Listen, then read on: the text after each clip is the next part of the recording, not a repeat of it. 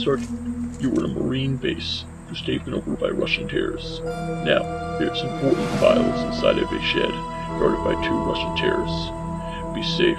There's four Russian terrorists. Ready when you are.